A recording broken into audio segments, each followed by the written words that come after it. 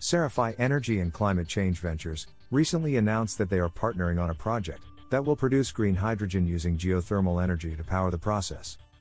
The collaboration will be powered by the proprietary, closed loop CeraPhi well system. The geothermal energy system will be providing the continual electrolysis process with the necessary baseload power. Since geothermal is a greenhouse gas emission free renewable energy source, it means that the green energy can be produced without CO2 or other greenhouse gas emissions, as a byproduct of that process.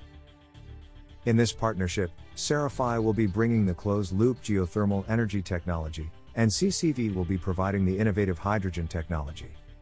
Together, the companies in this partnership will be aiming to develop scalable renewable H2 productions anywhere that the baseload geothermal energy is available.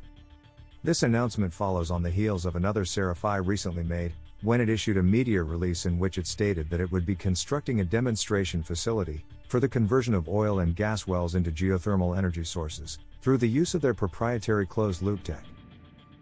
While geothermal hasn't received the attention solar and wind has had in green hydrogen production, there is a lot of hype around hydrogen's role in the energy mix, being a clean fuel to burn for heating or use for transportation. However, we know most of this is focused on the use of fossil fuel and whatever that's, black, gray, or blue, to produce this sustainably at scale, means producing fossil fuels in vast quantities forever, said Carl Farrow, Chief Executive Officer at CeraPhi Energy.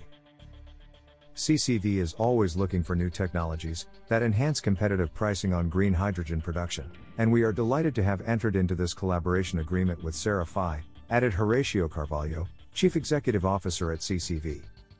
Farrow went on to underscore his belief that geothermal energy is the best renewable power source for green hydrogen production. Among the reasons for this is that it offers a steady, reliable, 24 7 energy supply, making it possible to scale emission free H2 production at a commercial level. Thank you for picking hydrogenfuelnews.com. Don't miss your free access to our exclusive ebook, just sign up today. Follow this story and more on HFN.